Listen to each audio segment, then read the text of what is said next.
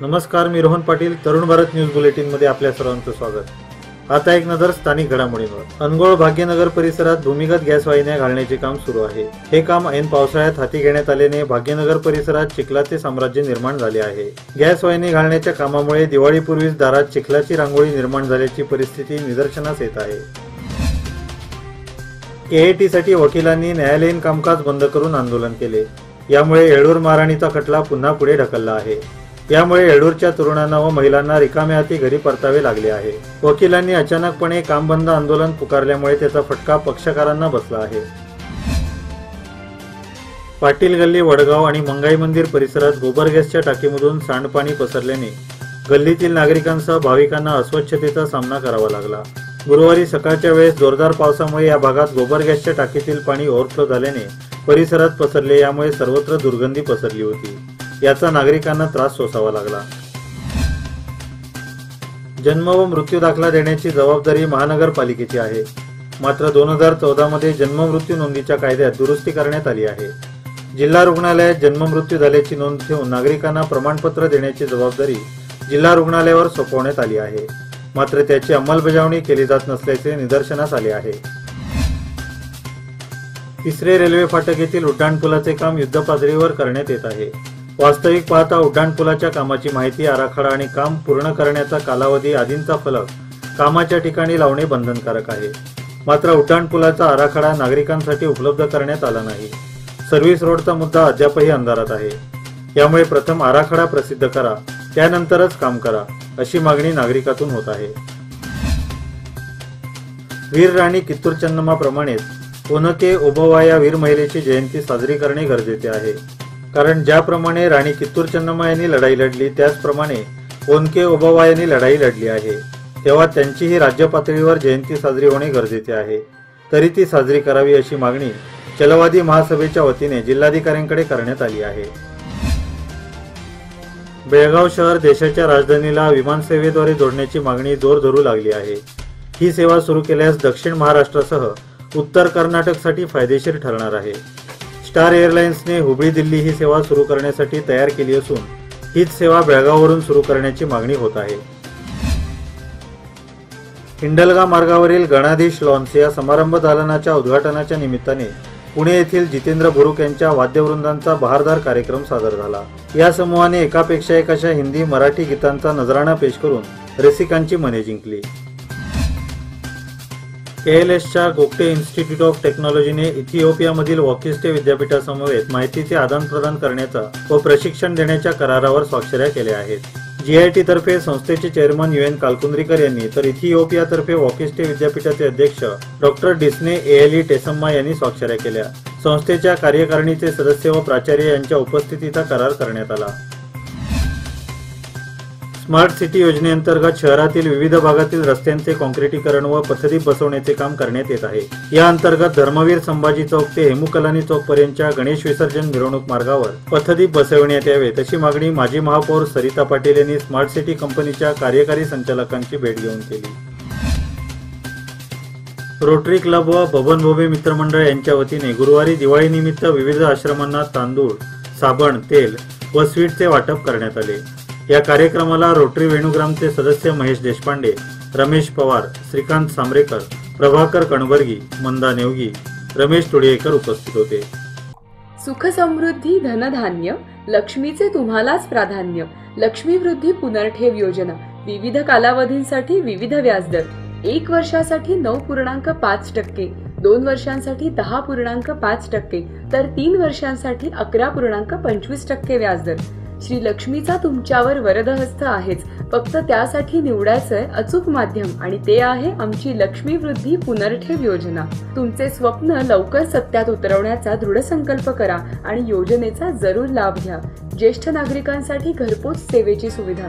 तरुण भारत सौहार्द सहकारी नियमित सामान्यांची सर्व मान्यता. प्रधान कार्यालय पस्तीस चोवीस नार्वेकर गल्ली बेळगाव. संपर्क शून्य आठ तीन एक दोन चार दोन चार सात सात सात. यंदा परतीच्या पावसाने होत्याचे नव्हते करून ठेवले आहे. अजूनही निपाणी व परिसरात पावसाचा फटका बसत आहे. त्यामुळे शेती पिकांचे मोठे नुकसान झाले आहे. यंदा ऊस सोयाबीन तंबाखू या प्रमुख पिकांबरोबरच अन्य पिकेही वाया गेली आहेत. त्यामुळे तोंडावर असलेल्या दिवाळी सणावर मंदीचे संकट आले आहे. एकूणच गैरहंगामी मेघराजामुळे बळीराजा चिंताग्रस्त असल्याचे दिसत आहे. गोकाक शहराला घटप्रभा नदीच्या महापुराचा मोठा फटका बसला असून अनेक नदीकाठच्या भागासह शरीरातील नागरिकांचे जनजीवन पूर्णपणे विस्कळीत झाले आहे. तसेच अनेक जण बेघर झाले असून गत दीड महिन्यापासून पूरग्रस्त आधारहीन झाले आहेत. आता गत आठवड्यापासून पुन्हा परतीच्या पावसाने थैमान घातले आहे. त्यामुळे नागरिकांमध्ये भीतीचे वातावरण पसरले आहे. एकीकडे पूरग्रस्त कुटुंबांची समस्या उद्भवली असताना दुसरीकडे शहरातील मल्लिकार्जुन उर्फ मलिकजान डोंगर पायथ्याशी वसलेल्या शेकडो कुटुंबियांना डोंगरावरून दगड कोसळण्याची भीती सतावत असून जीव मुठीत धरून जीवन जगत आहेत. आता पाहूया आंतरराष्ट्रीय घडामोडी. हरियाणाच्या विधानसभा निवडणुकीत भाजपला मोठा फटका बसला. भाजपचे माजी मुख्यमंत्री मनोहरलाल खट्टर यांच्या नेतृत्वाखाली पुन्हा एकदा इथे भाजपचे सरकार येऊ शकले नाही. हरियाणामध्ये त्रिशंकू स्थिती निर्माण झाली आहे. आता दुष्यंत कुमार चौटाला यांची जननायक जनता पार्टी किंग मेकरची भूमिका निभावणार आहे. दुष्यंत चौटाला यांनी काँग्रेसतर्फे दिलेली उपमुख्यमंत्र्याची ऑफर फेटाळली आहे. या स्थितीत भाजप आणि काँग्रेस हे दोघेही दुष्यंत कुमार चौटालांची मनधरणी करतायत. महाराष्ट्र आणि हरियाणा विधानसभा निवडणुकांबरोबरच देशभरात पोटनिवडणुकांचे निकाल आले आहेत. गुजरातमध्ये सहा जागांवर या पोटनिवडणुका झाल्या. या सहा जागांपैकी तीन जागांमध्ये भाजपचा पराभव झाला. काँग्रेस सोडून भाजपमध्ये गेलेले अल्पेश ठाकूर यांनाही राधानगरमध्ये पराभव स्वीकारावा लागला. हरियाणात पुन्हा एकदा भाजपचं स्पष्ट बहुमतातील सरकार विराजमान होईल असा अंदाज एक्झिट पोलमधून व्यक्त करण्यात आला होता. मात्र एक्झिट पोलचा अंदाज साफ चुकीचा ठरताना दिसत आहे.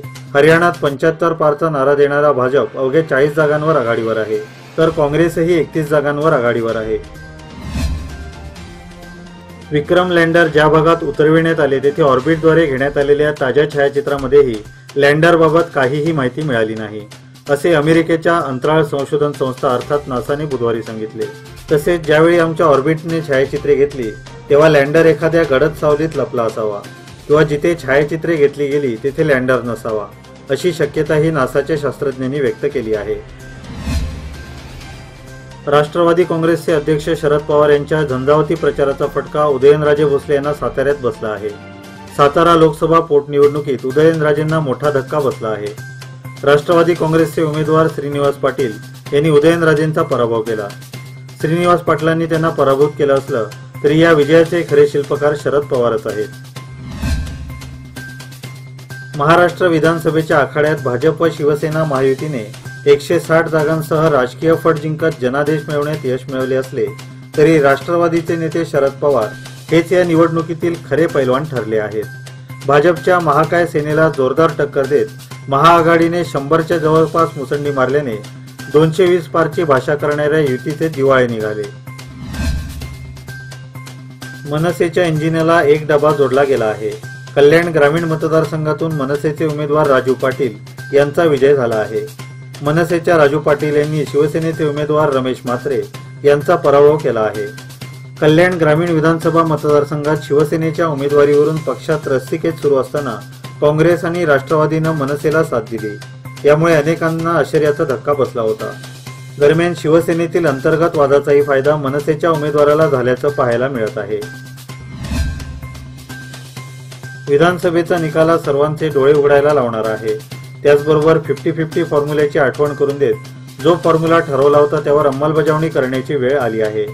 फॉर्म्युल्यावर निर्णय झाल्यास सत्ता स्थापनेचा दावा करणार असल्याचं मत शिवसेना पक्षप्रमुख उद्धव ठाकरे यांनी केलंय. सेना भवनात आज आयोजित पत्रकार परिषदेवेळी ते बोलत होते. भाजपने त्यावेळी अडचण व्यक्त केली म्हणून मी कमी जागा स्वीकारल्या होत्या. पण दरवेळी भाजपच्या सगळ्याच अडचणी मी समजून घेऊ शकत नाही असा टोलाही ठाकरे यांनी यावेळी लगावला. याचबरोबर आजचे बातमीपत्र इथेच संपले. सबस्क्राईब करा Tarun Bharat daily Belgaum news channel आणि ताज्या घडामोडी सर्वात आधी पाहण्यासाठी बेल आयकॉनवर क्लिक करा. धन्यवाद. शुभरात्री.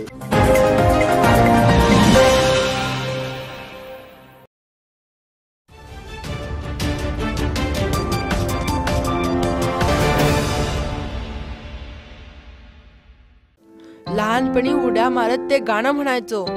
गणिताच्या परीक्षेत काय तर म्हणे नापास. हे खरं होते की काय असं वाटायला लागलंय? गणितच फक्त नाही त्यात दहावी बोर्ड एक्झाम्स बाप रे खूप टेन्शन आलंय. आता टेन्शनला करूया नापास. तरुण भारत घेऊन येत आहे मराठी माध्यमाच्या दहावीच्या विद्यार्थ्यांसाठी खास रविवारी विविध विषयांच्या मार्गदर्शनाचा विशेष तास. आता समजून घेऊया विविध विषय गप्पांच्या माध्यमातून. तर विद्यार्थ्यांनो यशस्वी व्हा यशवंत व्हा.